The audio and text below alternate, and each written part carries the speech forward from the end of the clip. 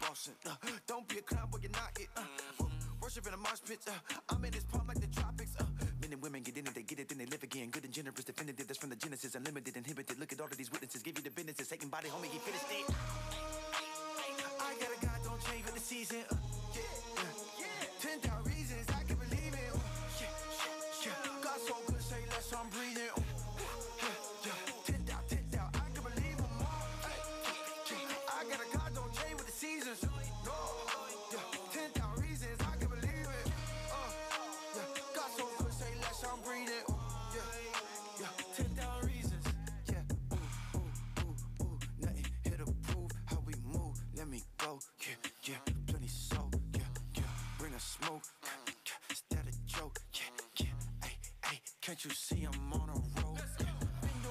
16. Yeah. Rapping on the corner in the street. Yeah. Christ is God, I lost my father, but I never lose my peace. Yeah. yeah. I think it king, reigning supreme. Ooh, winning with ease. Ooh, you think it's sweet. Yeah. I believe way crazier thing. Cool. I see that he coming back. He said it, then I react. I got this thing in the bag. You go and laugh. I will be doing it last. Yeah.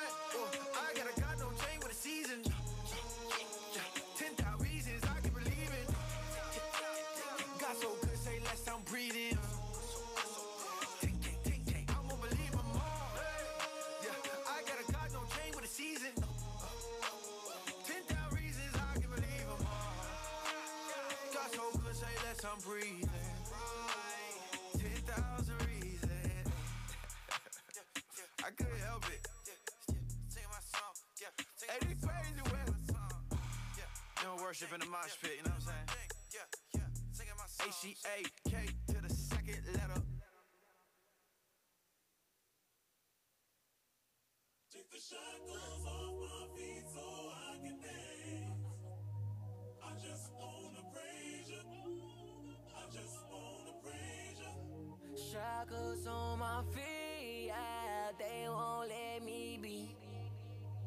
Won't you set me free? Pray this on me. Shackles on my feet, oh, they won't let me be. Won't you set me free? Pray this on on me. Pray this all on me. Let me go. Let me go. I've been going through so much, I swear these people let my throat. That's on me, that's on mamas. On my mama, I can't take no more, so miss me with that drama. Get your commas, get your rec straight. Get your facts straight. Hold me down, I rise up on them like the tax rate. Keep my past straight, never lack faith. God been working, they gon' have to hold me back, man. Good morning. Good morning. Good morning. How's everybody doing? Good morning, Citylight. You're here, you're in the room, you made it. It's another Sunday, another opportunity to worship Jesus. My name is Glenn. I serve as one of the pastors here. Really glad you're here this morning. If you happen to be new among us, we want to give a warm welcome to you. So glad you're with us. Before you leave this morning, we want you to meet some amazing people. Steve and Jerry Royer, right back there at the Get Connected table. They would love to give you some more information about our church. Uh, you can ask some questions about Citylight. We want to help you establish who we are uh, and what your part might be in our church, ways you can serve, uh, just more and more about our church. So we'd love to know you. Go back there before all is said and done. Hey, it's time for a weekly ministry moment, ministry highlight. There it is. Y'all know what it is. Need a little air horn action, okay? Uh, hey, we just wanted to let you know this is really fun. We did have some pictures, they fell through. That's okay. Two Friday nights ago, this is just uh, huge in my heart. Our church had the opportunity to go and serve a ministry called Global Friends. Has anyone heard of Global Friends? Raise your hand. Has anyone heard of Global Friends? Okay, Global Friends is an international college student ministry. And so we got to host and serve at their Christmas party. So imagine a room with like 100 international college students, dozens and dozens of countries represented in the room, many different belief systems. And here we are serving food, playing games, singing carols, and we got to share the Christmas message about hope in Jesus.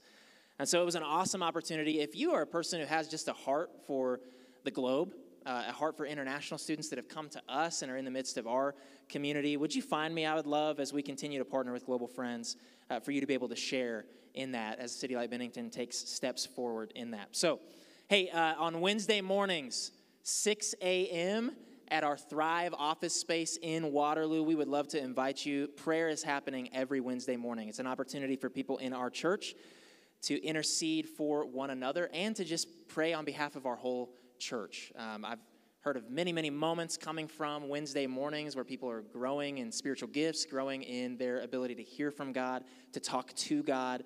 They're learning how to pray. So, Wednesday mornings, get up early, 6 a.m. We'd love to see you there. Uh, hey, thank you for your generosity, church. Really, there's a lot of things I could say, but Citylight Bennington, your, your financial partnership with us, your giving, um, you just understand the heart of generosity, and it's such a blessing to our church. You have no idea. Thank you for your continued partnership. If you are someone who came prepared to give today, maybe you call Citylight Bennington home. Two ways you can give to our church. Um, you can give in the silver giving box that's back by the door there, maybe on your way in or on your way out.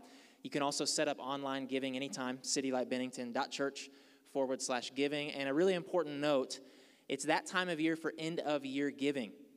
We want to let you know if you mark or date any of your giving, you know, 12, 31 or before, it's going to count toward end of year. But it would be a tremendous blessing to our team if you even got some of that in today. So, at your earliest convenience, if you have plans to do end of year giving, uh, the sooner the better for our team. Uh, not last just yet, we have two more things. Does anyone know what's happening this Thursday night? Christmas Adam. I see you, Adam. Okay, it has nothing to do with you, but I still, you like the name. Okay. Christmas Adam, in case you're wondering why do they call it that, just put two and two together. You could call it Christmas Eve Eve, but that's lame, okay? And Adam came before Eve. So Adam, Christmas Adam. There you go. Now you know why we call it that. It's an annual tradition.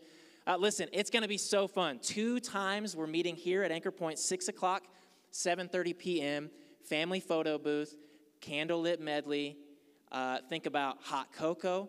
Think about Justin up here preaching about the joy that can be found in Jesus and his arrival. Uh, you want to bring family, friends, we would love to have you with us this Thursday night, Christmas Adam. Uh, just a reminder a week from today, Will we have Sunday gathering in this room? No. If you come back to Anchor Point on December 26th, you are free to worship God in His Spirit anywhere you want. You can do it in the parking lot. There just will not be things set up in here for you to come in here and worship. We will not have a Sunday gathering next week. We will be back with one another on January 2nd, the Sunday after that, which brings me to my last but not least thing. We are going to start uh, a little bit of a tradition, Q and A Sunday to usher in the new year. Here's the truth, church. God's word and God's gospel inform every issue in our life. We want to help our church grow in biblical literacy by welcoming theological and cultural questions that you may be wrestling with. So, what are you asking at your dinner table? What are you having conversations with with people at work? What are you looking up online? We want to invite you to ask those questions. You can do so anonymously. You can go to our website, citylightbennington.church forward slash ask, and you'll see an opportunity there to submit a question. Uh, if you're signed up for our weekly email that goes out, you'll also see an opportunity in the weekly update email for you to submit a question. Uh, we are accepting questions through next week. So you, you have one week. Submit questions, then we're going to discern and Roy and I will be up here on stage on Sunday, January 2nd, to speak into some of those questions that you may have. We're really excited for that. Um, I want to invite you to stand now, and we're going to get going uh, with worship in song. Now, before we do this, church, I just want to remind you this is an opportunity to participate. When you come to gather with God's people on a Sunday morning and we worship and we sing and we hear God's word, we're here not just to sing praises to Him, but also to hear from Him. Amen? So if God is speaking to you this morning, if the Spirit of God is giving you a, word of wisdom, a, a word of knowledge, something that might pertain to our church, something that you really feel like God's asking me to deliver this message, would you find uh, one of the pastors, myself included, in the back of the room after this morning's time together? With that being said, would you turn and greet some people next to you, meet someone new, and we will continue in worship? Thank you.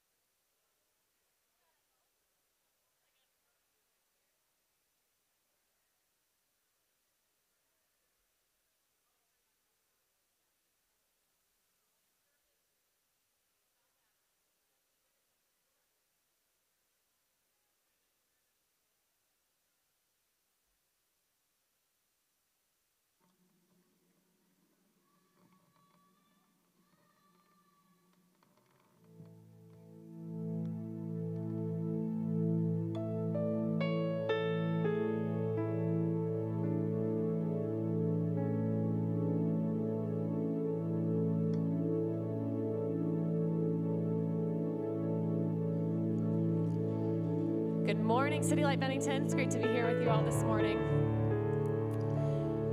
We're going to start out with a song. Um, it's familiar to most of us, and I know we hear it a lot of times on the radio and Hobby Lobby in the grocery store. Hark the Herald Angels Sing. Um, but it really does tell the story of Christmas and why we celebrate this. I want to point our hearts back to it's not just a feel good song that we sing a certain time of year to kind of get in the Christmas spirit. It's really telling the story of a newborn king born in a manger in a humble stable to bring hope and light to the world. Glory, glory to the newborn king. Let's sing this together.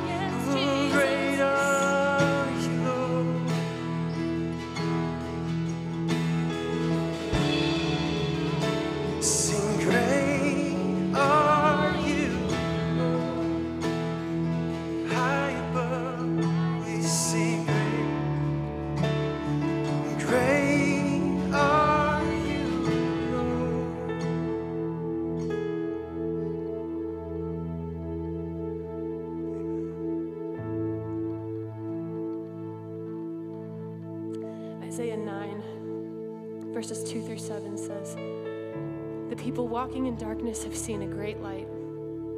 On those living in the land of deep darkness, a light has dawned. You have enlarged the nation and increased their joy. They rejoice before you as people rejoice at the harvest, as warriors rejoice when dividing the plunder. For as in the day of Midian's defeat, you have shattered the yoke that burdens them, the bar across their shoulders, the rod of their oppressor. Every warrior's boot used in battle and every garment rolled in blood will be destined for burning, will be fuel for the fire. For to us a child is born, to us a son is given. And the government will be on his shoulders, and he will be called Wonderful Counselor, Mighty God, Everlasting Father, Prince of Peace. Of the greatness of his government and peace, there will be no end. He will reign on David's throne and over his kingdom, establishing and upholding it with justice and righteousness from that time on and forever. The zeal of the Lord Almighty will accomplish this. For the brothers and sisters in the room, this was us. We were once walking in great darkness, and He called us out into a marvelous light. He has increased our hope, and we have great cause to rejoice. For God has come, and He is coming again in fullness. And of the greatness of His government and peace, there will be no end.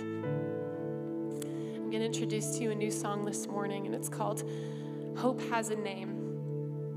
And indeed, it does. Hope has a name, and that name is Emmanuel, God with us. He is the light of the world who broke through the darkness. So if you're broken, if you're searching, if you need healing, here's where you'll find it. He is where you will find it.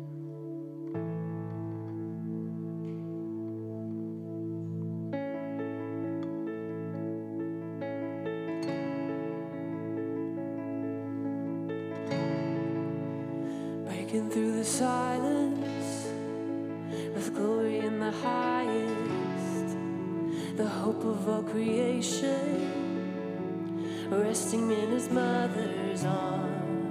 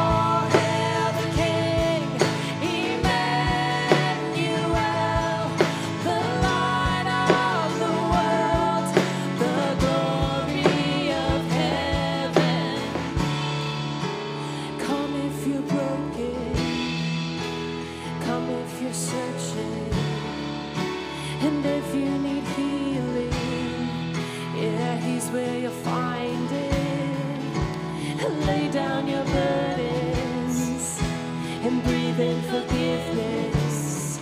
And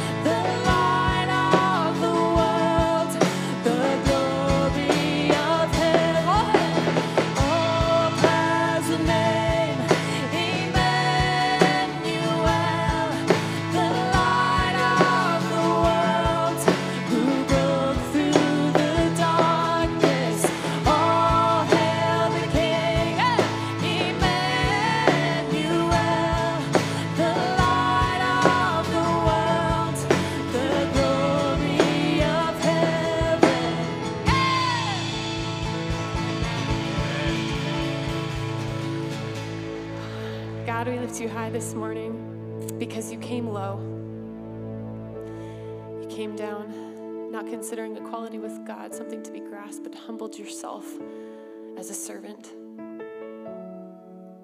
Not lauding your own appearance, but coming humbly into the world that you might save us, that we might know you, that we might be reconciled. God, all we can do is fall down in awe and worship before you for what you have done, for who you are. Would we become less this morning as you become great in our hearts and in our lives, Father? Speak to us now, Holy Spirit. Would you come and move in power in us and in our lives? We love you. We surrender to you. In Jesus' name, amen. Go ahead and take a seat.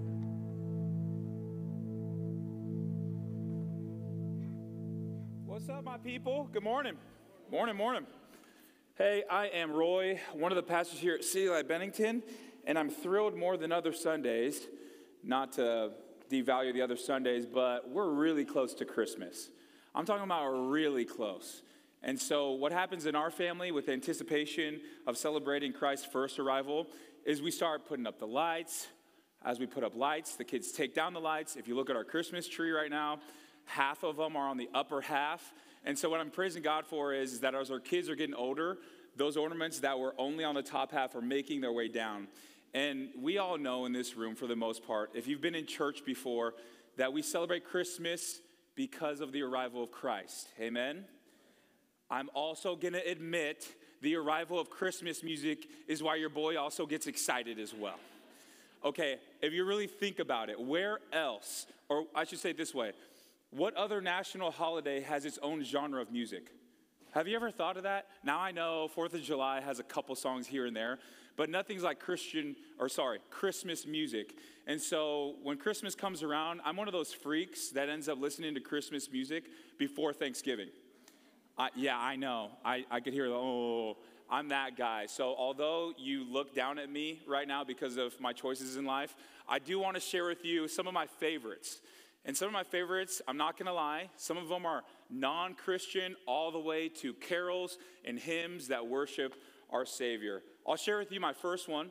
My favorite ever, and I think for the most part we'll all agree with this, is the best secular Christmas song is Mariah Carey's. Come on, say it. Uh, Do y'all listen to Christmas music?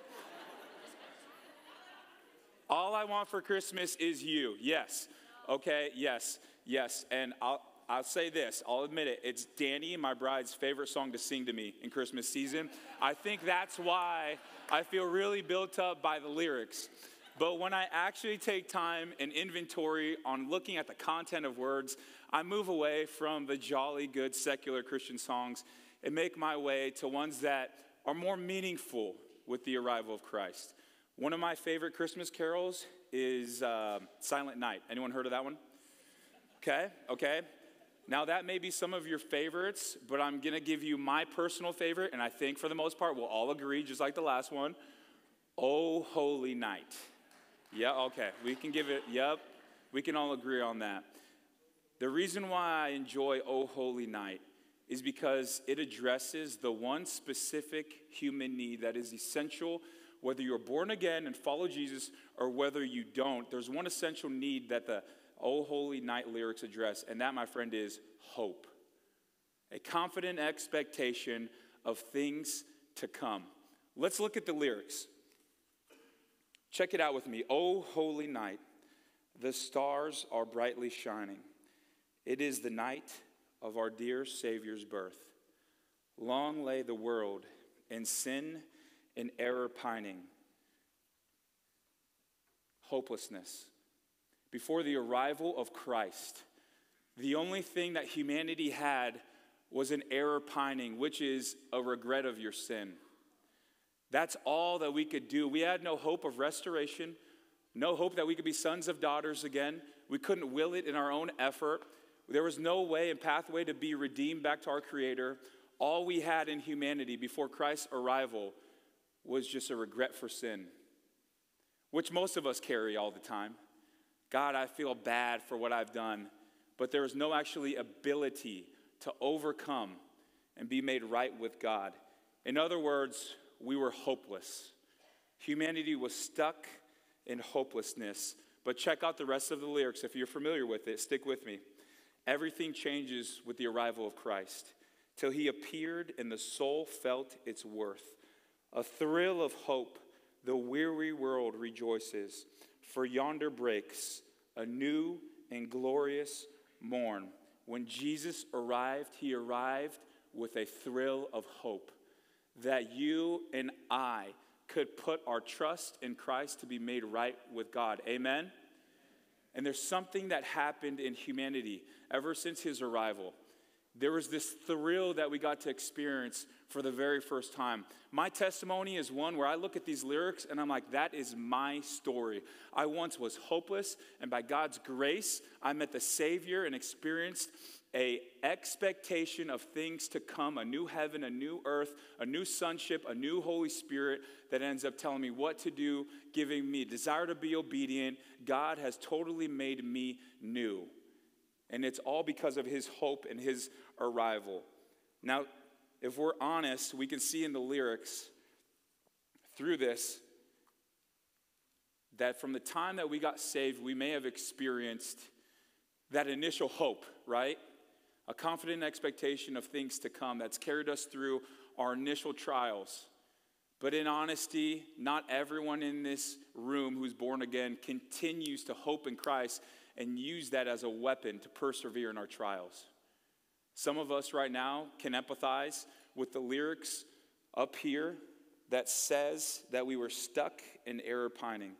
Some of us feel stuck in hopeless marriages. Some of us right now feel stuck with disobedient kids, expectations that we had for our family that haven't been met, stuck with a terminal illness and diagnosis, stuck in the rat race. I don't know what type of stuck you're in, but it happens, and the resolution is not to beat yourself up, friends. It's not to give up, but it's rather to go to God for hope again. Amen? So here's the definition of hope that you're going to end up seeing up here on the board a confident expectation of things to come. That God could change your internal and external realities. It's more than just optimism. Optimism is based off of potential. What is the potential of something happening when hope is based off of God's promises? It's not based off of potential. Hope is based off of what God has said. It's this perspective that in your trial, friends, you see and believe in your heart of hearts, although it's difficult, that there's blessing on the other side, that there's blessing in persevering, that there's blessing in enduring. And why do we need hope the most? Is because we all go through trials. We all go through hardships. As sure as I'm breathing, you're breathing right now, there'll be a trial, a hardship in the future. As sure as you're breathing and I'm breathing, you can count on it that you've gone through some stuff in the past. And as sure as you're breathing, there may be people next to you that are currently in a trial. And if we don't watch out, the warning is from Scripture we can go through trial, born again friend, after trial, after trial. And if we end up putting our hope in anything else during those trials, after trials, after trials, we'll get to a place where we're a former shelf of ourselves. That person that has experienced Christ and experienced a new life going from dark to light, that'll end up being a one time thing if we do not continue to press into hope in every trial. So, this morning we're going to look at three perspectives. They're going to build off of one another. And what we need to know, my friend who's in trial right now and in hardships, is what is true of a trial, what's true of God, and lastly, what's to come. Let's pray. Father, I ask that you would end up bringing revival in the hearts of those who are weary and burdened this morning. I ask not by eloquence of speech, God, but by the authority of your word and by your spirit that you would administer your grace with truth and that you would give a confident expectation in people's hearts again. God, we believe that you're the hope of the world and you're the hope of every trial that we're in. In Jesus' name we pray. Amen. All right, friends, let's get into it. In your trial, have a confident expectation that there is a purpose. Look with me in Second Corinthians. This is good. For our present troubles are small and won't last very long. The Apostle Paul is writing this to the Corinthian church, and the Corinthian church are experiencing persecution because they're Christians. And the Apostle Paul ends up saying, Your trials, your persecution are small. If the Apostle Paul was living today, he'd have to go through some sensitivity training. Like, that's not okay. But, but, he has some credibility. This dude was battle tested. You can respect this man's words.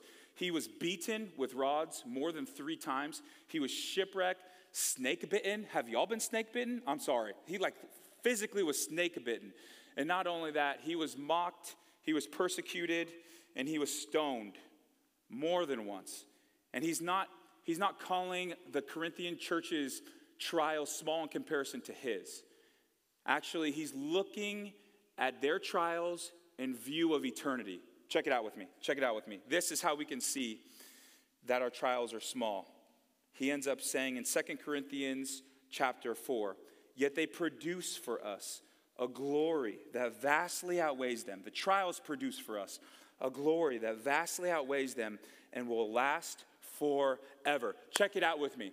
In your trials, God has purposed for you to actually stack up rewards and treasures in heaven as you continue to persevere in your trial. That's a part of His good design in your hardship and in your trial, that you one day will end up being in a totally different reality in the presence of God in heaven. You'll have a room in the house, and right now in your trials, you can actually purpose rewards to furnish your room. Who doesn't like a comfy room?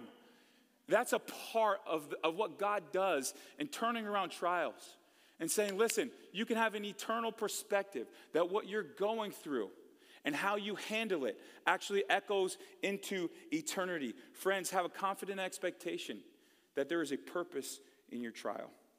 Let's keep reading on. There's more good stuff here. So we don't look at the troubles we can see now, rather, we fix our gaze on things that cannot be seen. For the things we now see will be gone, but the things we cannot see will last forever. Paul understood, my friend who is in a trial right now, Paul understood that everything's on a clock. The seasons change, and so do trials. Your trials are temporary and they won't last forever. It may be a hardship that ends by the end of this service. It may be the next day. It may be weeks from now. It may be months from now. It may be years from now. But the reality is, friends, that one day it will end. Think of your trials as a tunnel. In a tunnel, it's dark in the middle. But there is a beginning and an end, and it's flooded with life, with light. So as you're continuing to, to drive through this tunnel of trial, and though it seems like you can't see the end at the, at the light at the end of the tunnel, know that God has purposed it to eventually end. And here's what matters most it's not that you go through the tunnel and get to the other end, but it's how your soul goes through it. It's how your soul goes through it if we're all honest, when we get in hardships and trials, it's easy to end up looking for the exit route. But God wants you, and He has designed for you to get to the end of the tunnel with Him. To get to the end of the tunnel, not in shambles, in a former shell of yourself, but to depend on His Spirit and to press that much more into deeper intimacy with Him. Look with me in Hebrews 12. It says this No discipline is enjoyable while it is happening but it's painful. Okay, can we be honest? Don't you just love the scriptures and how honest they are? The writer ends up writing No discipline is enjoyable. No one likes getting spanked. No one likes um, having trials heaped upon them, even though they didn't even incur them. There was nothing that you did, some of us. The reality is, is there are so many trials in life, whether you're being disciplined because the Father wants you to learn a lesson, or whether you're just incurring trial upon trial just because we're in a broken and fractured world. At the end of the day, God wants you, God admits, hey, it's going to be painful. But check it out in the rest of the verse. But afterward, there will be a peaceful harvest of right living for those who are trained by it. God has allowed seeds of trials and hardship to be thrown into your life. And friends, if you do not give up, they will grow a harvest of peace. A harvest of peace that you could look back on in trials in the future and say, God has shown up in my life. God has my best interests at heart. Although it's painful, friends, don't give up. Don't waste a trial. Don't go to media. Don't go to relationships outside of your marriage. Don't go to whatever you go to with alcohol abuse or drug abuse to appease our despair. Press into God. Think of it as a muscle. The trials are like exercise. A muscle grows when there's stress on it, right? The more that we lift, the more it grows. And God's intended some of these stressors in life and in our lives to grow us. But that won't happen, friends, unless we cling to the hope of God, that there is a purpose in it for us. God's shaping and forming us into his image. And praise God that we stack up rewards in heaven in our trial, and during it, we also have blessings here on earth. In your trial, have a confident expectation that there is a purpose. And if you think that you're alone in your trial, my friend, there's good news that the God of the universe is well acquainted with your grief. 24 hours leading up to Jesus' death, he felt the weight of his inevitable suffering. He felt the weight of the, of the scorn of man, of the thorns that he would have to adorn on his head, of the flogging that he would have to experience, where they would whip him, pull back, and rip the flesh from his back. He knew that his best of friends would betray him. And do you know what he ends up doing? The humanity of God empathizes with our weakness. He goes straight to the Father, and we see God model what it looks like to pray in trial. Matthew 26 says, and this is Jesus speaking here My soul is crushed with great grief to the point of death. Stay here and keep watch with me. He went on a little farther and bowed his face to the ground, praying, My Father, if it's possible, let this cup of suffering be taken from me. Yet I want your will to be done, not mine. Friends, if you've ever suffered to the point of despair where you wanted to die, if you've ever gone to God the Father to ask for relief that He would take this trial and burden from you, you are in well good company because Christ did Himself. We have a God who sacrificed on the cross out of His weakness and through His despair. And there's going to be moments in our trials where all the hopes and promises that we can cling to will be so meaningful. But unless we understand the heart of God and how He experienced suffering the way that we've experienced, there won't actually be a heart change in our trial. Praise God. We can respect a God who's asking us to persevere. Why? Because He persevered Himself. Amen.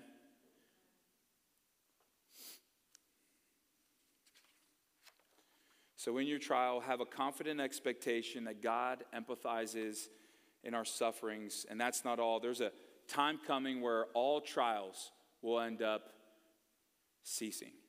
Revelation 21 says, Then I saw a new heaven and a new earth, for the old heaven and the old earth had disappeared, and the sea was also gone. And I saw the holy city, the new Jerusalem, coming down from God out of heaven like a bride beautifully dressed for her husband. I heard a loud shout from the throne saying, Look, God's home is now among his people. He will live with them, and they will be his people.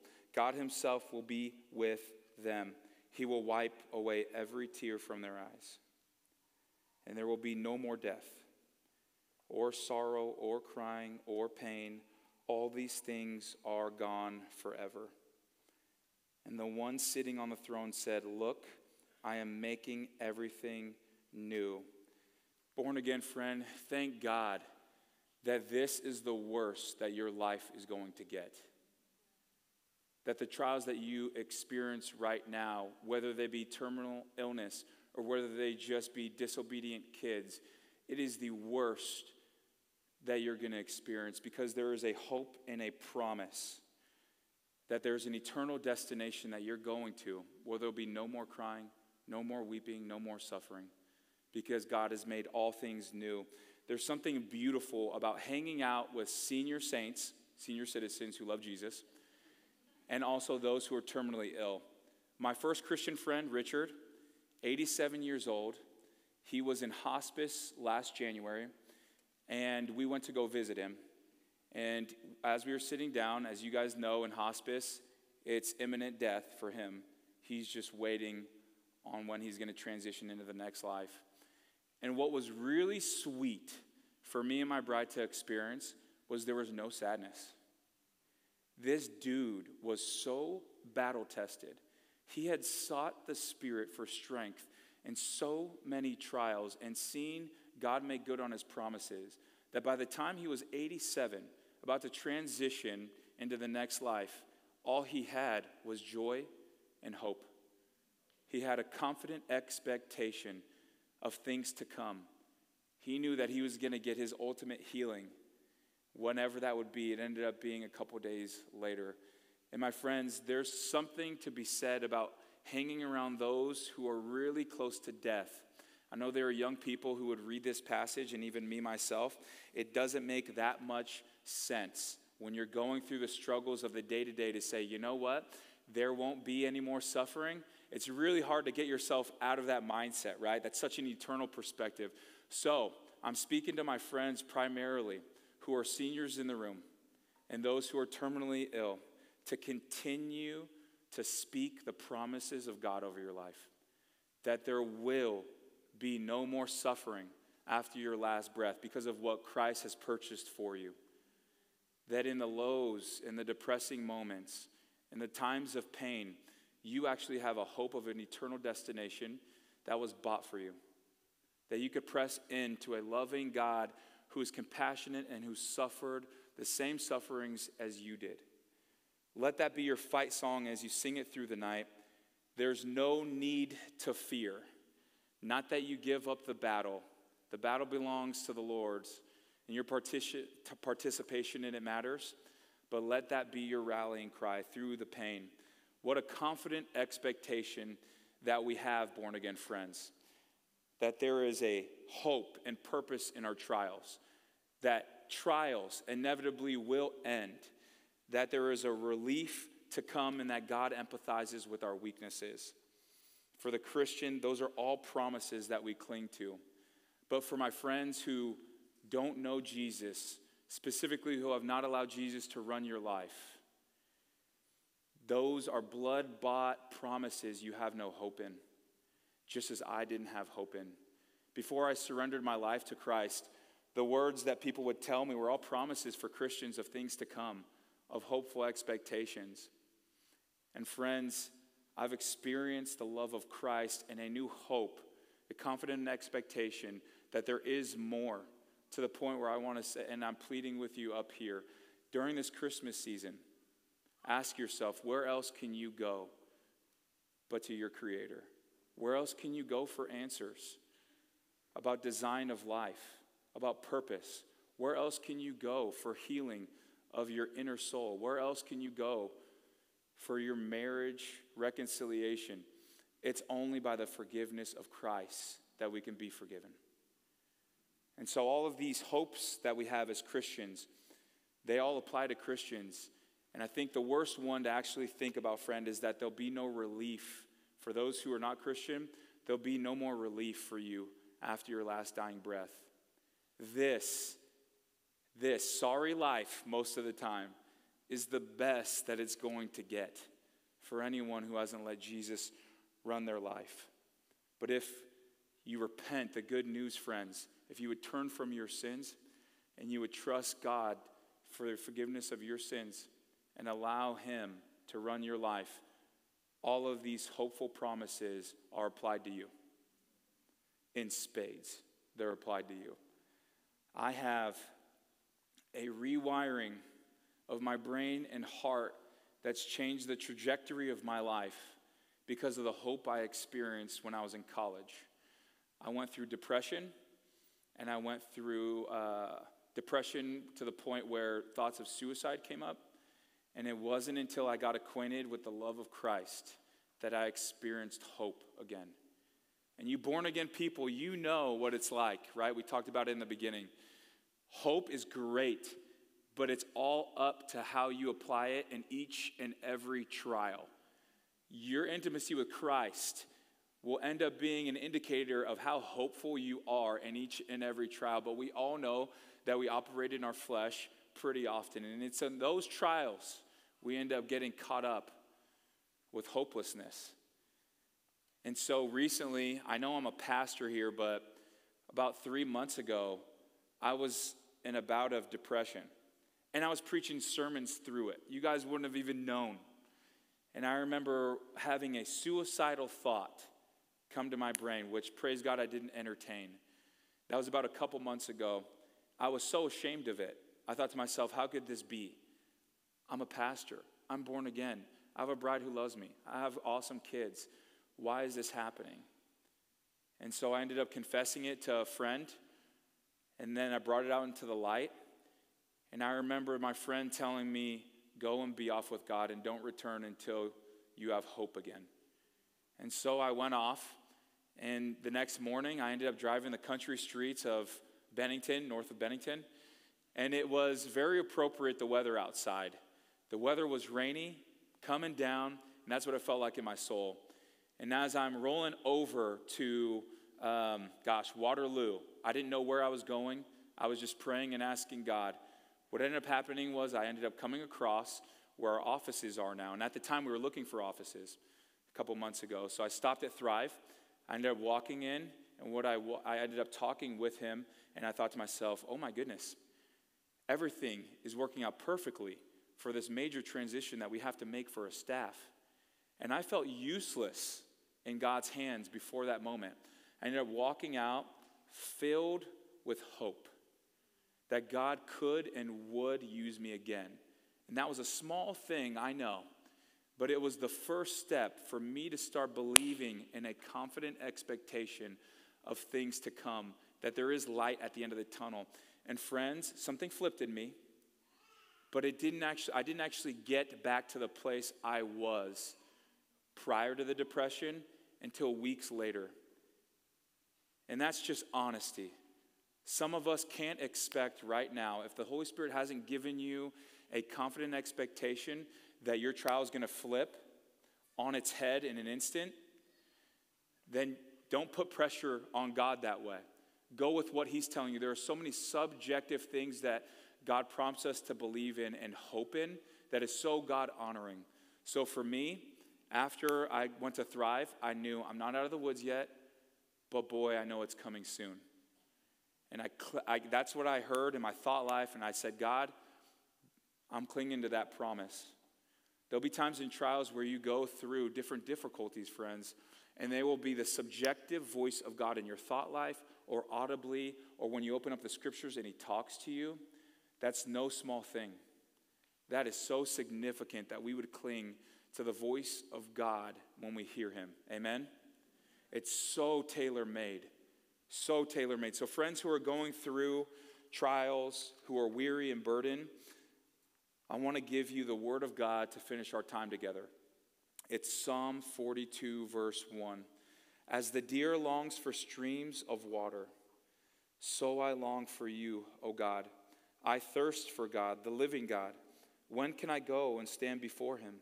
Day and night I have only tears for food, while my enemies continually taunt me, saying, Where is this God of yours? My heart is breaking as I remember how it used to be. I walked among the crowds of worshipers, leading a great procession to the house of God, singing for joy and giving thanks amid the sound of a great celebration. Why am I discouraged? Why is my heart so sad? I will put my hope in God. I will praise him again, my Savior and my God.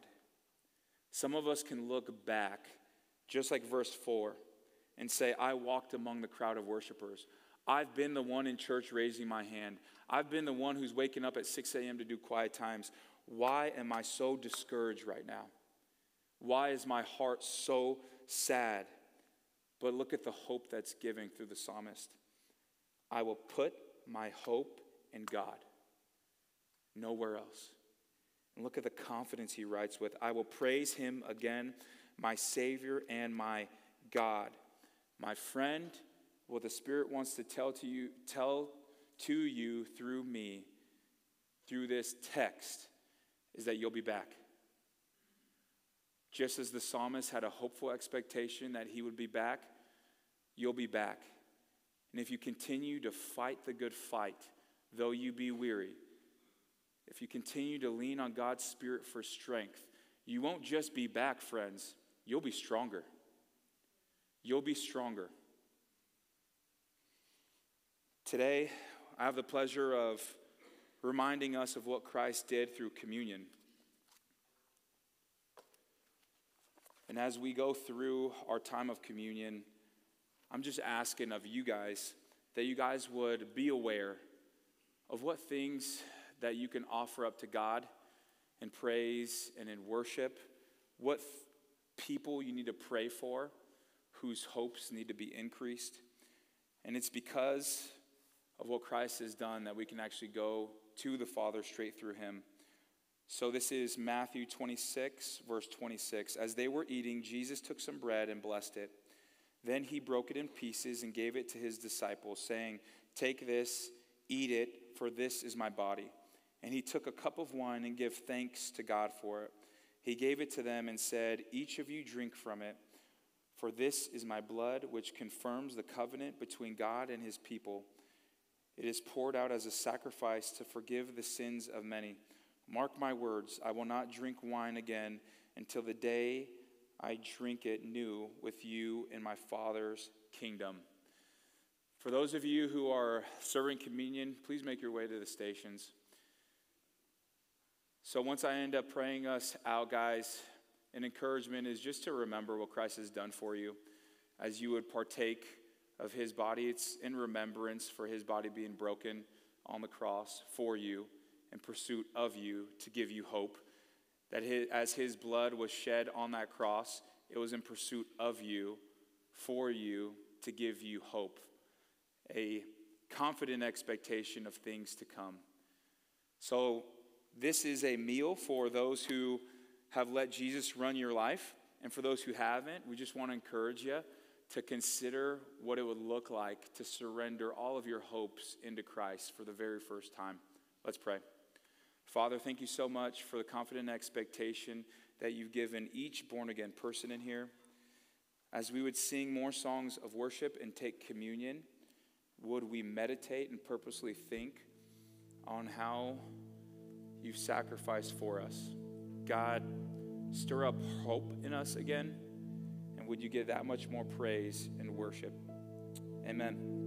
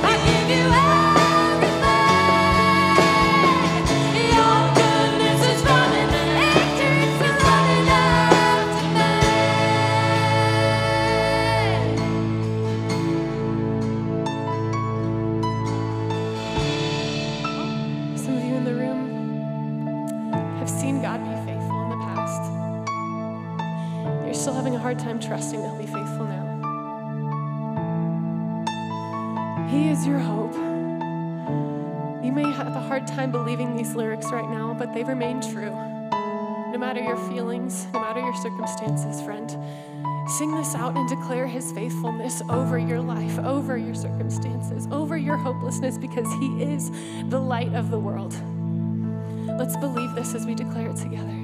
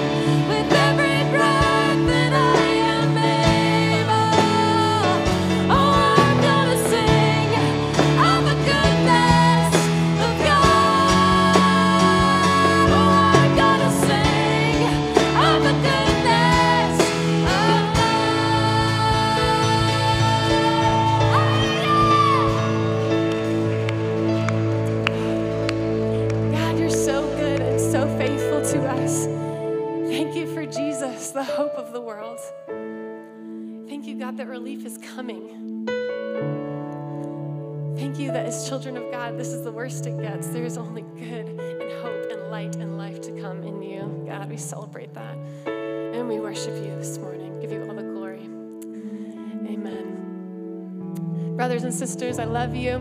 We will see you this Thursday night. If you're going to be out of town, we will be streaming it at 7:30 p.m. We hope to see you there. Uh, stack your chairs. Guests, we'd love to meet you at the Get Connected table. Have a great week. We'll see you on Thursday.